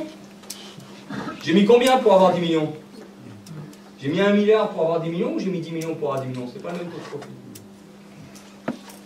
Dans un cas, c'est 1%, 10%, dans l'autre cas, c'est 100%. Donc c'est le taux de profit qui est important. La rentabilité. Si on rentabilité. Pas profiter. Et donc, il est évalue par la rentabilité. Alors, le capital, on peut distinguer, c'est les avances pour produire le capital. Et en réalité, il y a deux types d'avances. Il y a du capital constant, qu'on va appeler C. Pourquoi constant? Parce qu'il maintient constant sa valeur. Elle va se reproduire, la machine, même les, moyens, les, les, matières, elles transmettent leur valeur au produit. D'accord Donc, matériels, machines et matières. Et puis, il y a le capital variable, c'est celui qui fait varier la valeur. C'est les avances pour les salaires. Parce que c'est les salaires qui font varier la valeur. Enfin, c'est les travailleurs. Ça renvoie aux travailleurs qui font varier la valeur. Ok, ça en connaît plus ou moins les uns. Bon. Alors, j'aurais dû mettre ça juste avant. Commentaire. La théorie néoclassique dont on a parlé tout à l'heure. Nos ennemis, Gibbons, Menger, Valras, qui nourrissent Tirol, prix Nobel d'économie français, Friedman, vous le connaissez bien, probablement. vous connaissez bien le nom. Je pense que vous n'êtes pas familier avec lui. Et Macron, qui est quand même un banquier et qui a étudié là-dessus. Mais aussi ce qu'on apprend aux ingés dans les grandes écoles. Cette théorie néoclassique. Alors, elle donne l'impression, là c'est des ajouts modernes, euh, Frédéric, euh, section économique des années 2000. Qu'est-ce qu'on nous apprend? La production Y, c'est égal à un bout de travail plus un bout de capital. W fois L plus R fois K. W c'est wage comme salaire. Et R comme rate pour tout profit. Peu importe. Un bout de travail, un bout de capital. On a l'impression qu'on a tout fait. Ils sont comme nous. La production, c'est du travail et du capital. Je vais éliminer le travail. Alors, je vais vous démonter ça assez rapidement. On pourrait, euh, on va faire quand même en limité, mais c'est important parce que c'est ça les représentations que les gens ont en tête Là, il n'y a pas de valeur ajoutée en fait. Parce qu'il n'y a pas de procès de travail, le travail préexiste et il post-existe. Et le capital préexiste. Donc ce qui existait déjà est assemblé, c'est du Lego. Alors où il y a une création de richesse? Parce qu'il y a, mais parce qu'ils ont omis le procès de travail. Et en réalité, pourquoi Parce qu'on ne sait pas ce que c'est que ce travail-là. Est-ce que c'est un nombre d'heures Donc elles n'existaient pas avant. Il faut les dépenser, il faut procès de travail, il faut une fatigue, il faut quelque chose. Ou est-ce que c'est un nombre de travailleurs À ce moment-là, ils existent avant, mais ils ne travaillent pas. Excusez-moi. Par exemple, comme je dis à mes étudiants, la conception néoclassique, c'est de dire on prend le Bocara, on le met dans un terrain vague, avec ce qu'il connaît et ce qu'il connaît pas, à côté d'une pelleteuse. Ouais, vous commencez à rigoler. C'est dans la merde, hein On revient le lendemain au so- le soir. Et regarde comment il a fait. Le plus de bol qu'on a eu, c'est s'il a rien fait, il a rien cassé. Il n'a pas trouvé de richesse. Par contre, s'il a fait quelque chose, il s'est fatigué, mais alors, je vous raconte pas. Et donc, vous voyez que le poste de travail, ça compte. Il suffit pas d'acheter du travail et du capital et après, euh, adieu va ou Inch'Allah. Non, il y a un procès de travail. C'est pour ça qu'il y a des entreprises, c'est pour ça qu'il y a des patrons, c'est pour ça qu'il y a des. C'est compliqué la vie. Et mais la représentation néoclassique, c'est celle-là. Et celle de Macron étant à celle-là, même s'il est branché sur les patrons qui disent ce qu'il faut avant tout, c'est que cette marchandise, on l'achète moins cher, mais les patrons disent oui, mais tu dois nous changer quand même les relations de travail dans l'entreprise, parce qu'il faut qu'on puisse quand même mieux tourner à 10. Ils tiennent compte des deux parce qu'il est branché. Mais leur théorie, elle est complètement bancale. Et du coup, dans leur notion, le travail crée sa propre valeur, puisque c'est complètement lié à ça, et le capital crée sa propre valeur, ils sont séparés. Et vous avez un Piketty de gauche qui dénonce les inégalités, qui dit la rémunération du capital pourra croître infiniment beaucoup plus vite que toute la production. Ce qui n'est pas possible. Et parce que pour ces gens-là, il n'y a pas une production qu'on répartit ensuite.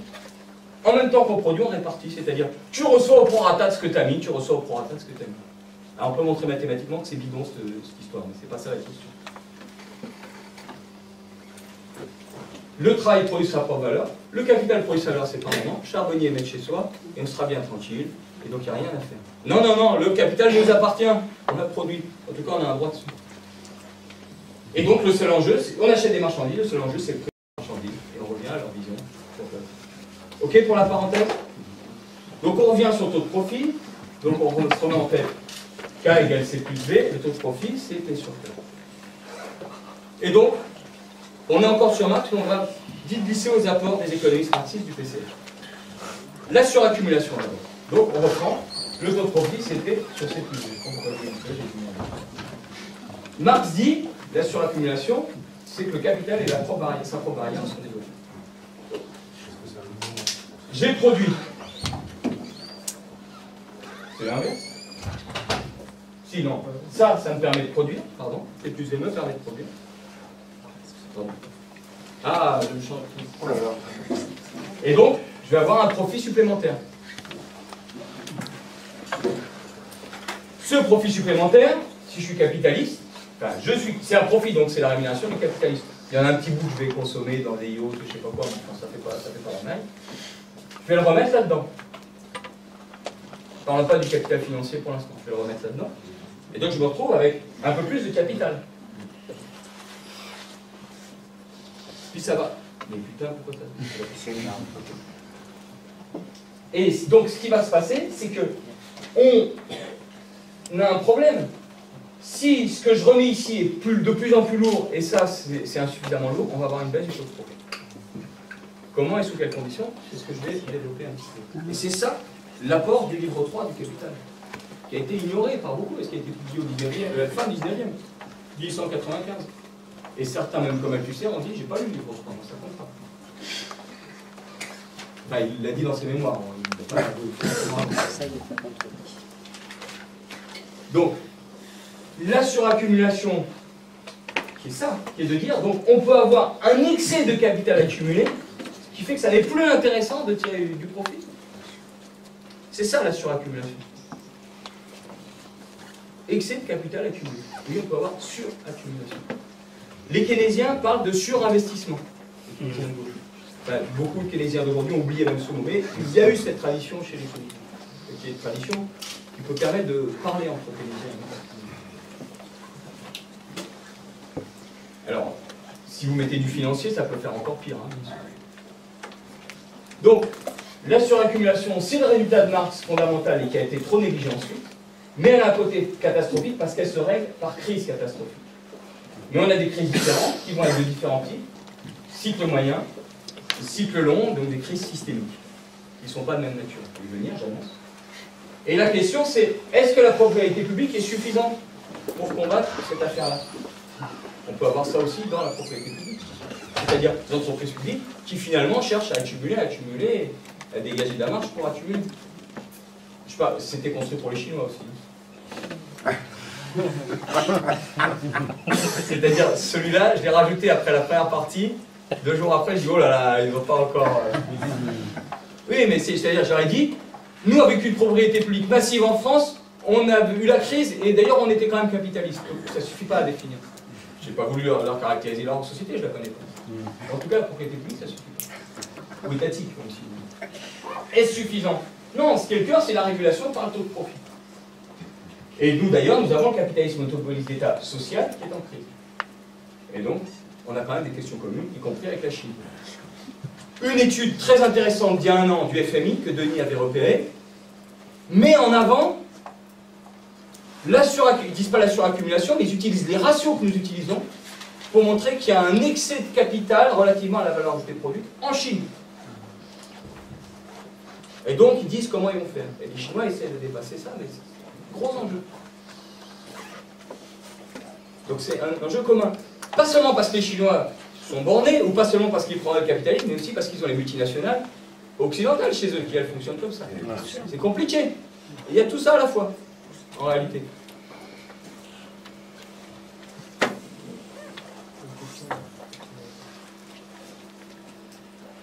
Non, non, parce qu'on va essayer d'avancer sur... euh, Ah, je je vais enlever, j'avais un très beau graphique. Tant pis. J'avais un autre graphique pour la suraccumulation. Euh, c'est... Ouais, Oui, La voie de sortie de ça, est-ce que c'est pas Schumpeter aussi, dans cette diapo-là, par rapport à la question Alors. Est-ce que Schumpeter n'apporte pas une réponse en disant oui, mais la, la destruction créatrice, je, je- je sors de ça par l'innovation. Bien sûr. Voilà mes graphiques. Est-ce que c'est pas une, une des voies de sortie que tu n'exposes pas dans la Si. diapo suivante Si, par si. rapport à ton ratio là Si, mais il faut que je la retrouve, excuse-moi. Tu vois, ça bloque, j'arrive pas à revenir en arrière. Excusez-moi. T'es victime des nouvelles technologies. On va revenir là. Je Suraccumulation. retrouve du profit dans de nouvelles activités, dans des, des choses plus innovantes. Alors, à partir de Quelle solution à la suraccumulation? C'est celle-là que je cherche. Donc, c'est là où on a des éléments dans Marx, mais qui ne sont pas théorisés, et c'est les travaux de Paul Boccara qui ont euh, avancé dessus théoriquement, et qui ont élaboré la notion de dévalorisation du capital. Dévalorisation, j'annonce tout de suite, c'est pas baisse de valeur du capital, mais c'est moindre mise en valeur. Puisque le capital en valorise, c'est moindre mise en valeur. Et donc, et je vais faire le lien avec Schumpeter, euh, j'ai inséré la diapo la sur Schumpeter, c'est un bon truc. hein. C'est ça qu'on a en tête. Donc, l'idée, c'est que la réponse à la suraccumulation, c'est la dévalorisation. Et ça permet une explication des prix. Alors, on va supposer d'abord une suraccumulation absolue. Alors, je reprends un exposé. Ah oui, c'est intéressant pour l'histoire. Il est trop tard, hein. Intéressant pour l'histoire.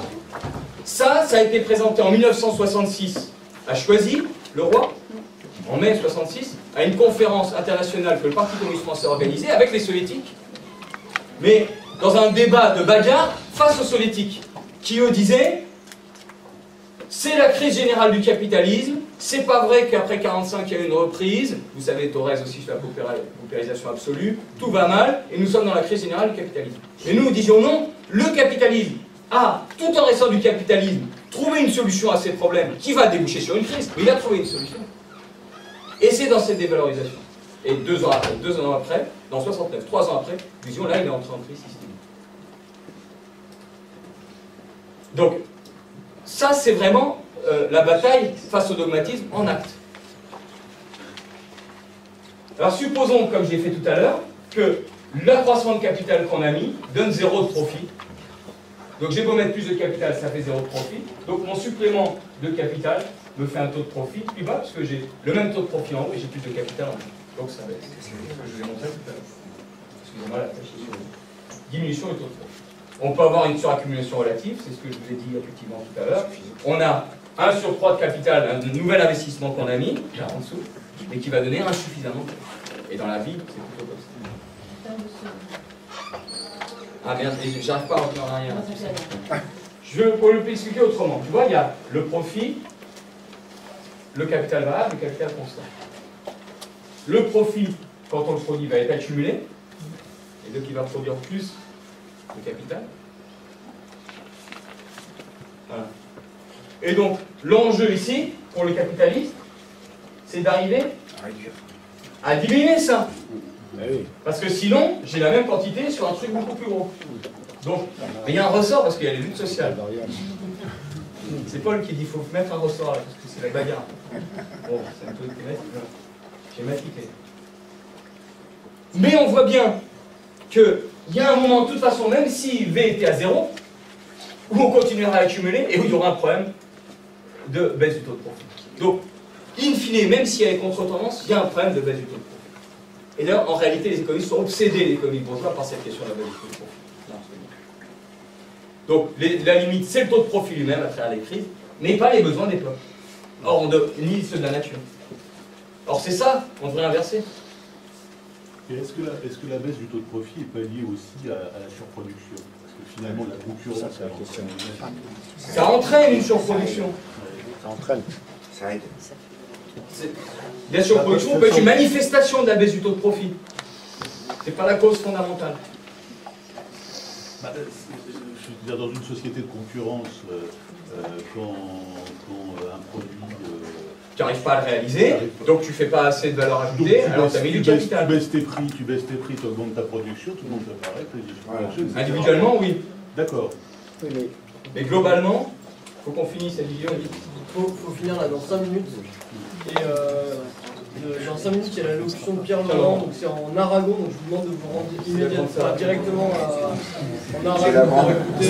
Vas-y, euh, directement en Aragon Castille. On a le droit de pas y aller Vas-y, Fred, continue. continue. On reste. Non, on a 5 minutes encore.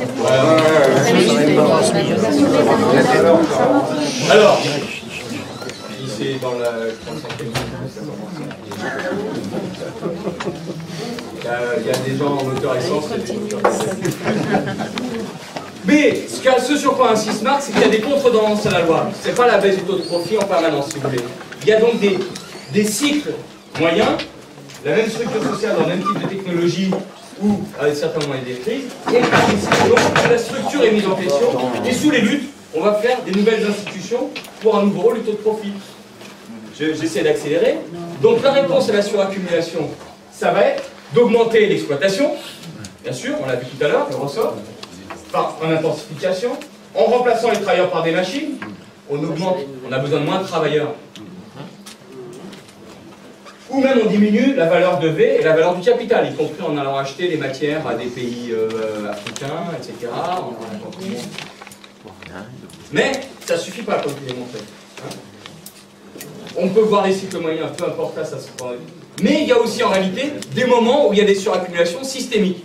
Et on voit des cycles longs qui renvoient aux crises systémiques. C'est quoi ces cycles longs? Vous en avez. En réalité, la dernière reprise qu'on connaît, c'est après 45, si vous voulez, hein, qui culmine dans un tournant en 67-74, avec le reflux 74. Et depuis, on a une phase de difficulté, à l'intérieur desquelles il y a des cycles, mais dont on n'est pas sorti d'une certaine façon, parce qu'il y a une nouveauté. Auparavant, on avait un autre cycle avec- qui avait culminé avec la guerre de 14. Celle-ci, c'est phase super intense de production. Celle-ci, c'est au contraire le marasme, hein, c'est pas les mêmes. Et au contraire, les crises qui commencent dès les années 20, puis en 29. Là, on a eu aussi un culmin, et puis cette crise-là. Et à chaque fois, vous voyez, il y a des luttes sociales qui déterminent la transformation. 89, si on veut, mais 48, la Commune de Paris, là, il y a un certain nombre de choses comme la République, la création des syndicats, etc. Là, je ne fais pas le dessin, et là non plus, les transformations. Alors, je prends la. Vous voyez, et on peut donc enrouler les cycles moyens qui sont ceux qu'on connaît, crise financière, tous les 7 à 12 ans, des choses comme ça, qui s'enroulent là-dedans. Hein? Simplement, les statistiques montrent que la phase de difficulté du cycle moyen est plus longue ici, et là, c'est la phase d'abondance qui va. C'est Kondratiev, un russe, qui a trouvé ça, un soviétique, que Staline a combattu en faisant sortir euh, Trotsky de prison pour démolir Kondratiev. Il l'a envoyé en goulag. Donc, justement, le processus, il y a d'abord surproduction et chômage, voire inflation, puis il y a croissance d'accumulation financière, et en parallèle, il y a les nouvelles technologies qui se développent, mais qui ne sont pas assez efficaces parce qu'il y a des problèmes de demande. Et donc, il faut trouver une nouvelle structure sociale pour une nouvelle demande sociale, et une nouvelle aussi euh, euh, euh, production sociale, c'est-à-dire avec des travailleurs et des salariés qui sont traités au C'est ça en fait l'enjeu. Et ce qu'on observe, c'est de cycle en cycle, ça altère le rôle du taux de profit. Mais dans les crises, il revient de façon encore plus envenimée, empoisonnée, comme on aujourd'hui, je ne pas le. Donc la, la chose importante à voir, c'est au moment du CME, après 45, CME, capitalisme opposé à l'État social, c'était une solution aux difficultés précédentes dans des forces politiques d'alors. On a eu, pendant les les phases de difficulté d'entre-deux-guerres, toute une recherche et un tâtonnement pour arriver à trouver des solutions. Et après la Deuxième Guerre mondiale, cette phase s'établit non pas de façon automatique, c'est pour ça que Staline avait mis en, en prison Kondratiev et euh, voulu le démolir, en disant Ah non, le capitalisme ne va pas s'en sortir automatiquement. Il y a la créativité des luttes sociales, c'est vrai. Mais c'est pas purement subjectif comme Luc Trotsky, on fait ce qu'on veut avec les luttes sociales, c'est quand même dans des conditions. Une part. Et donc, la difficulté systémique d'aujourd'hui détermine les besoins de transformer. Et donc l'analyse est nécessaire pour savoir ce qu'il faut faire, ce qu'on peut faire pour le faire et ce qu'il faut. C'est quoi la logique? C'est une partie du capital ne demande pas un taux de profit normal, voire demande zéro profit. On va arriver très rapidement, je vais le péter très. C'est-à-dire, par exemple, on a eu nationalisation, capital public et financement public de la production. Prenez dans la fabrication de l'aluminium, où il faut, pour faire simple, de la bauxite et de l'électricité. Si vous avez les électriciens qui sont nationalisés avec EDF, ben, le capital qu'il faut avancer dans l'ensemble, il en faudra chez Péchiné, Alcan, enfin le producteur d'aluminium, qui lui va continuer à fonctionner sur la qualité, mais une partie qui est le capital qu'il faut avancer pour l'électricité, lui va être chez EDF, il va demander 2%, 3%, 4%. On a embauché des armées de statisticiens de mon école pour calculer quel est le taux de rentabilité, non pas qui permet de faire le taux de profit, mais qui permet de préserver suffisamment d'argent de côté pour développer le parc selon les besoins de consommation. Donc on limite le taux de profit. Et ce qui permet de remonter le taux de profit. Mais c'est pas seulement un jeu comme ça de transfert de masse communicante. Il y a aussi, du coup, des nouvelles dépenses sociales qui ne vont pas demander leur rentabilité. Avant-guerre, on avait des grandes entreprises comme Michelin, Renault, etc., qui dépensaient de l'argent pour former leurs salariés de façon privée et qui demandaient que ça soit rentable cet argent qu'elles dépensent. À partir du moment où c'est dépenses publiques massives par l'État de institutions, enseignement ou sécurité sociale pour la santé, c'est de l'argent qui ne cherche pas sa rentabilité. Et donc on peut mettre là on ne l'avait pas mis et ça va complètement transformer la société. Et donc, là c'est une logique de limitation du taux de profit, si vous voulez, dans les nationalisations, même si ça a permis aussi plein de choses nouvelles. hein. Là c'est déjà une logique nouvelle qui monte. Et l'enjeu qu'on a devant nous, c'est non pas de rééditer la façon keynésienne de limiter le taux de profit, mais d'avoir au contraire tout un critère positif aujourd'hui dans les entreprises, les dépenses qui permettent de développer les êtres humains et d'économiser la nature. Donc, pousser une toute autre logique dans les entreprises, mais une logique positive, pas seulement une logique de limitation et de cantonnement du taux de profit, on pourra que ça marche. Voilà, c'est bon. Donc la dévalorisation, on peut avoir des dévalorisations catastrophiques, et c'est ce que dit Schumpeter. Il dit on a une destruction qui va être créatrice, on va détruire le capital, et ça va créer quelque chose. Non mais comment on fait que le jeu soit somme positive et que ça marche, que ce soit créé soit plus que ce soit détruit? Tintin, ça marche pas. Parce qu'il faut donner des institutions qui vont faire qu'on va pouvoir développer du nouveau, et d'ailleurs éventuellement s'en jeter. Mais eux, ils sont sur ce pari de la destruction créatrice, et après il faut qu'ils gèrent euh, les effets. Donc une partie du capital est dormant, une partie peut être détruite, une partie est mise en œuvre profit réduit. Et Marx a dé- décrit des solutions passées de ce type qu'on peut englober dans la dévalorisation pour les crises passées. Je ne développe pas, non Pas non plus. Voilà. Euh, euh, on a une crise aujourd'hui qui a éclaté très fort de suraccumulation en 2008-2009 et prochaine- une prochaine crise sur le point d'éclater 8-9 ans après. hein. On a quand même une suraccumulation financière comme on n'a jamais eu. Et en plus, on a mobilisé les pouvoirs créateurs de monnaie des banques centrales et d'injection considérables et il n'y a pas forcément beaucoup de, de, de mou derrière. Et donc on devrait annoncer politiquement cette crise financière parce que nous et le peuple va être perdu. Et il faut voir que c'est la finance le problème et notre ennemi. Et comment on fait autrement? Il ne suffit pas de limiter cette finance et de jouer sur la répartition. Il faut pousser notre logique. Sinon, ça n'ira pas. Et je conclus sur la révolution informationnelle, c'est-à-dire l'autre nouveauté fondamentale que nous avons, la grande nouveauté, c'est cette révolution informationnelle. C'est quoi? Ben, Pour la définir, il faut l'opposer à la révolution industrielle. Dans le capitalisme, nous avons la révolution industrielle. Et c'est d'ailleurs finalement le capitalisme, on peut le voir aussi comme la création sociale par tâtonnement qu'on a eu d'institutions qui va accompagner la révolution industrielle pour lui donner son efficacité. C'est quoi? C'est la main de l'homme qui manie l'outil, un marteau, est remplacée par une machine-outil. Pour faire simple, on peut monter au Moyen-Âge, le moulin à eau, sur un arbre à canne, vous mettez 15 marteaux, ça fait charge travailleur en un seul arbre à cam, gagné par euh, un truc euh, rotatif euh, et l'énergie de l'eau. D'accord Donc, c'est, alors la machine outil, c'est beaucoup plus développé que ça. Mais c'est la main du salarié qu'on remplace par une machine. Or, une machine, c'est ici, c'est pas là-bas. La révolution informationnelle, on remplace certaines activités du cerveau humain. Les, les activités de transformation de l'information, de transmission de l'information, par des machines informationnelles, les ordinateurs. Mais la nature de l'information, elle est différente. C'est d'être partagée. Ils cherchent à l'approprier. Mais l'information, par nature, ça se partage. Quand je vous la donne, je l'ai encore. Et même un peu s'enrichir par le partage. Je vais ajouter des choses après ce qu'on a discuté. Donc c'est un autre fonctionnement.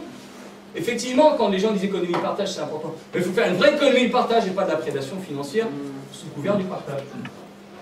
Ça demande des capacités humaines très développées parce qu'on n'échange pas une information avec des gens qui ne sont pas déjà suffisamment informés. Il faut jouer à tout. Donc ce qui devient décisif, c'est moins le développement des machines, il faut, bien sûr il faut des machines, des ordinateurs, des produits, des machines transformateurs, productifs, très développées. Mais il faut mettre beaucoup d'argent dans le développement des hommes, alors qu'autrefois c'était l'inverse. On avait une institution qui je vais développer les machines, c'est le capitalisme, et ça va développer la science. Aujourd'hui, il faut vraiment, même pour mettre beaucoup d'argent dans le développement des machines. Et enfin, une information, elle peut être ici et là à la fois. Prenez par exemple euh, euh, la fabrication d'un médicament, le programme pour fabriquer un médicament, pour fabriquer le doliprane, je peux le mettre au point à Vitry ou ailleurs, et il peut être simultanément actif et activer les choses, aussi bien à Vitry qu'au Brésil. Donc, avec l'article que j'ai mis au point, il est partagé dans le monde entier. Bon, ce qui crée des contradictions nouvelles, parce que je vais opposer les coûts des travailleurs qu'on mis au point à Vitry avec les coûts au Brésil, etc. Alors qu'en réalité, si au Brésil, c'est pas coûteux, c'est parce qu'on a mis au point les informations, les programmes et les brevets à. Voilà. Alors, on a cette nouveauté du capitalisme en crise. Et donc, l'enjeu des services publics et de la sécurité sociale, pas seulement pour les besoins des gens, mais comme une clé pour l'efficacité économique. Ça, c'est des développements qui vont au-delà du capital. Et je vous invite à réfléchir sur comment changer cette régulation du système avec le livre de Paul Boucara.